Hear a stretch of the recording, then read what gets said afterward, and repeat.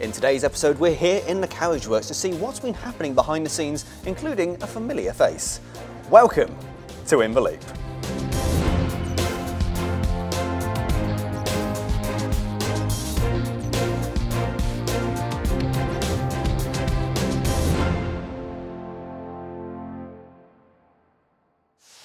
Hello folks and welcome to the Watercress Line. Now before we dive into today's main topic, it's time for a quick fire look around the railway to see what's been happening since the last episode.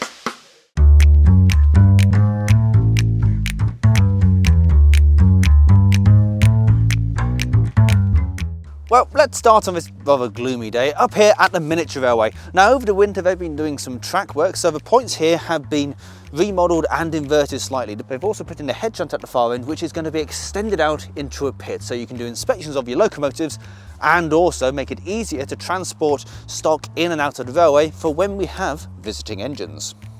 Now on the line of stock coming to the railway, some exciting news for the Ropley Miniature Railway has a new locomotive joining its fleet. Steam locomotive Ivo. It's currently down at Eastleigh Lakeside Railway where it has been overhauled by our good friends there and they're currently training up our teams to operate it and maintain it. So hopefully it won't be too long before we have a new steam locomotive gracing these rails. Now of course it's not just the miniature railway that have been doing track work. While we haven't been running our permanent way department have been up between Medstead and Alton doing some work on the track there. So let's head up there now and chat to Neil.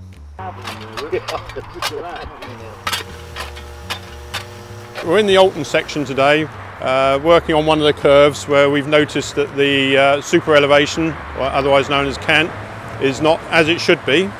Uh, that's been noticed by one of the uh, track inspections. So the guys are out here today we're not running trains at the moment because uh, the line is closed to passenger traffic. So we've got an occupation and this gives us the opportunity to get and do work that we can't normally do when trains are running. So what you'll see behind me is that uh, they're blowing stone underneath the sleepers. The sleepers have been jacked up slightly so you can do that and beside me you can see Eddie at the moment, he's got the gauge. So when you lift up the, the track, he can see that it's up to the level that it needs to be. Yeah. So what we need to do is dig the ballast away from the bottom of the sleepers. That then gives access to the bottom sleeper to put the stone under. Put jacks in under the rails and a, cross level gauge as you can see there which is like a spirit level. We jack the rail up to the required height and then we can put the stone underneath the rails, let the jack back out and then it should settle at the correct height for the, the super elevation. Passenger might not notice it so much on this railway, but if you're on a main line, you would feel the train starts to tilt as it goes into the curve. If it didn't tilt, it would try going straight on.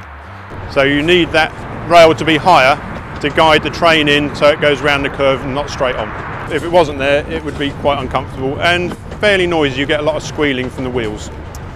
Now aside from track work when we haven't been running trains, our locomotives have had their annual exams and all of our coaches which carry passengers have been on the pit to have their annuals as well. This is an ideal opportunity to check the whole coach over thoroughly and identify any work that needs to be done and take the opportunity to do it now. Now we have some absolutely fantastic news. A lot of people have been asking and yes, they are back. Our driver experiences, both steam and diesel. The experiences we're offering this year are a mix of loco only and loco with a train. So you've got lots of options. And if you would like to find out more about this and book a place, then do visit our website at watercressline.co.uk.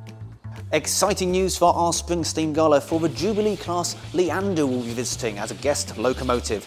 It's going to be a fantastic few days and if you would like to see the loco before it runs out of ticket, it expires in May, then do visit watercressline.co.uk for more information. And in the spirit of looking ahead, we'd like to hear from you the viewer. Here in the film unit, we're always on the hunt for new episodes and we've got an idea of what we'll be covering over the year. However, we'd like to hear what you would like to see. It could be anything, it could be topics we've covered in the past that you'd like revisited, or something brand new that no one's ever thought of. Comment below, there's no such thing as a bad suggestion, albeit some are more practical than others. And finally, you may remember last time that I mentioned that the railway had been nominated for two categories in this year's Heritage Railway Association Awards. The film unit was nominated for the Marketing and Communication Award for our In the Loop series, And the S&T department were nominated in the Infrastructure Award for the work they've done at resignalling Medstead. Now, it was a fantastic evening. Lots of people did come up to say hello, and it was wonderful to meet so many people. And the railway came away highly commended in both categories. So, a huge congratulations to the S&T department. From personal note, thank you so much to my wonderful team at the film unit, and congratulations to everyone who won an award that night.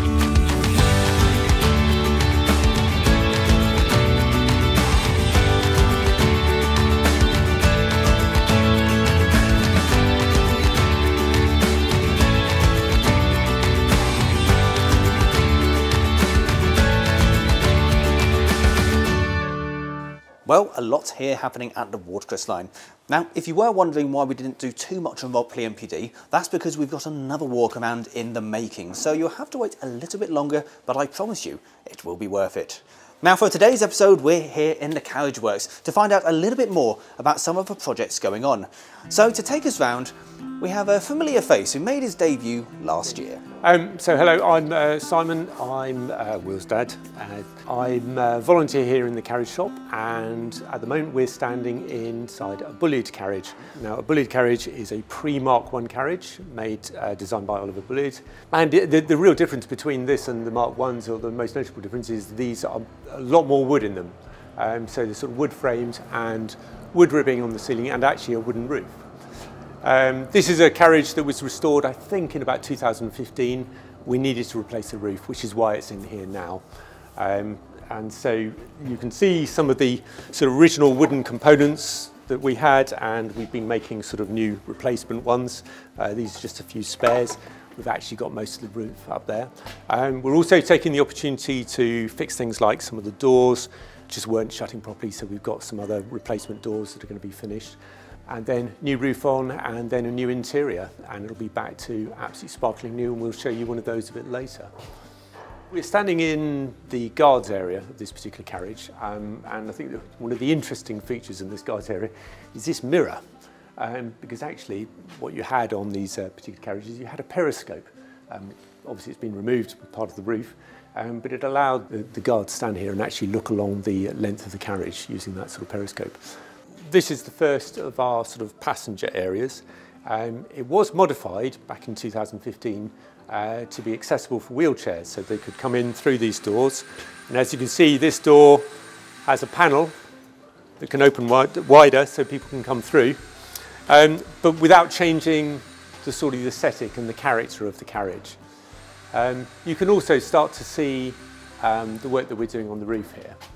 Uh, now, when these carriages were originally built, they were built with wooden roofs, um, and you can see the structure we put in and some planking over on this side. The problem with the wooden roofs is uh, the canvas that went over them, they wouldn't last long, maybe five, ten years. And in fact, when this was done, we used that technique and now we're having to replace it. The um, method we're using to replace it, we are still keeping it wooden, but we're going to put an epoxy coating on with canvas and we sort of trialled that two years ago and we'll show you one of those later and it's worked really well. It looks exactly the same, it's just using more modern materials that um, improve the sort of maintainability of them. Okay, so in this uh, compartment you've got a better view of the roof and the work that's going on. Essentially we're replacing everything from the cant rail um, to the ribbing to the planking and then we'll put a new uh, canvas roof on but it will go on with epoxy um, and we did that on the BY. We did a time lapse of the BY that going on. Um, and that's been on for a couple of years now and it's worked really, really well, which is why we're going to use it here. Wherever possible, we've tried to retain uh, original pieces. So for example, the light boxes, and we've got some beautiful light fittings that goes there, but we've, we've managed to keep those light boxes, a few repairs, um, but otherwise it's, it's been, uh, been replaced. And then once we've done that roof, then the interior goes back in, um, it's, a, it's a wonderful interior. In fact, we'll show you one we've prepared earlier, which is, uh, was finished a few years ago with the same interior. It looks absolutely fantastic. We're very lucky at the moment that we've actually got 1456 in, which is our other Bulleid carriage. And this was completed a few years ago with the traditional roof. And you can see the sort of planking, and this is canvas and then sort of painted over, and you can actually see it's, it's taking a fair bit of wear.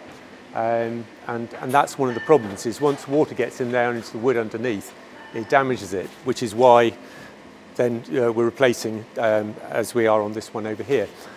And if we go forward now, we also have the BY in. And now you'll remember the footage of the BY and the time lapse. That is the first one that we've done with canvas and epoxy, a much better system. And you can see the quality now after a couple of years. Uh, it's worn really, really well. Um, so we're going up and have a look at that now. It's really lasted well. It looks absolutely authentic. It's absolutely watertight. It's met our expectations, which is why we're now using that technique on this carriage over here. Um, and it'll be our sort of go-to technique for this, this type of wagon and carriage. So you remember what that looked like on the inside uh, as we were looking through. We can show you the Bulleid carriage over here and what it's going to look like when it's all completed. Okay, so this is a Bulleid carriage that has been just beautifully restored. Uh, it was finished, I think, around about 2020. The woodwork, the detailing on things like the chrome and the netting um, and the racks um, is just fantastic. And this is the sort of um, finish that will be on the carriage that we were looking at earlier. Um, as I say, this is uh, this was really built from the ground up, much much as that one was. Um, and uh, the finish is just fantastic and it's the standard that we're trying to get to for everything. So just before you go, there's one more thing that we can show you uh, using actually an old piece of wood. Um, so wherever possible, we try and recycle or upcycle old wood. Um, and here's a perfect example. This piece of wood came from the Cadbury's factory at uh, which I'm reliably informed by the residents is not in Bristol, but it's very close to Bristol. Um, you might look at it and say, rather ugly old piece of wood, but actually, if you take out the screws, plug the holes, and then you machine it, you end up with something that looks like this, which is absolutely fantastic, serviceable piece of wood. So if we go upstairs now, we can show you what we've done with some of that. So here's a finished product. It's uh, doors for our toad wagon. Uh, it was made by one of our volunteers um, who's in his mid-80s, uh, you know, proper craftsman. I mean, there are no metal fixings on this door. Uh, it's all sort of tongue and groove, mortise and tenon joints, uh, beautifully finished. It shows you what you can do with an old piece of wood. The only thing we've had to do is probably put some epoxy in some of these old holes, but other than that, absolutely fantastic. So I hope you've enjoyed looking around the workshop and uh, we'll see you again another time. Super. Cheers, Dad. But that is it from us this week. So thank you so much for watching. Don't forget to hit that like and subscribe button, and we'll see you next time.